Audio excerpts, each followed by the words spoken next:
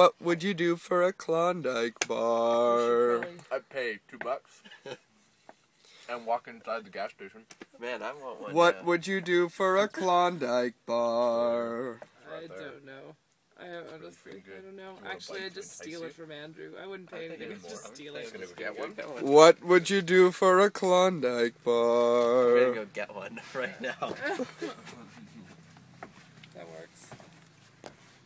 Damn, that's I good. say I don't want a, I don't want no ice cream. You don't want no Klondike. I I love ice cream, but no, I don't need. How is he? He's over there talking on the What phone. would you do for a then we, Klondike bar?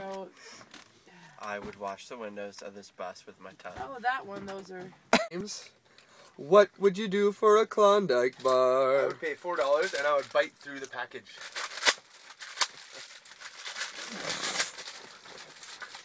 That's all the stuff flying off.